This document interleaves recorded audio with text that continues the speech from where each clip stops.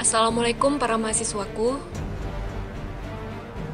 Video ini ditujukan untuk para mahasiswa yang sedang mengambil mata kuliah auditing, khususnya untuk program D3 Akuntansi.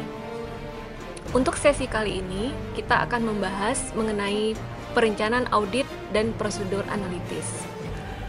Diharapkan dengan menonton video ini, Anda semua nanti akan mampu memahami mengapa perencanaan audit yang memadai sangat penting, dapat menjelaskan mengenai keputusan menerima klien dan perencanaan audit awal, memahami tentang bisnis dan industri klien, kemudian mampu menilai risiko bisnis klien, serta mampu melakukan prosedur analitis pendahuluan. Dan mahasiswa juga diharapkan mampu menyebutkan prosedur tujuan analitik dan waktu untuk masing-masing tujuan.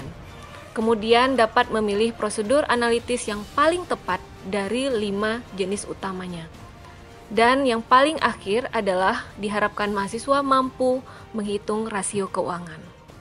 Selamat menonton video ini, semoga bermanfaat.